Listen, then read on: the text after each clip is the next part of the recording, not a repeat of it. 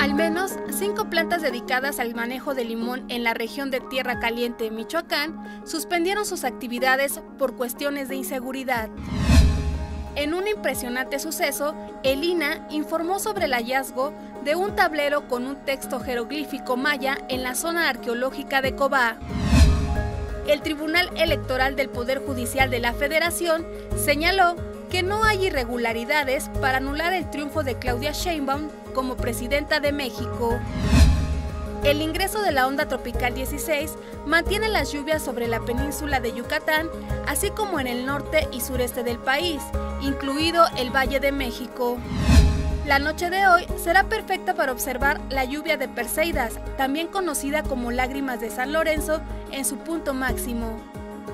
Consulta esta y otras noticias en www.unotv.com.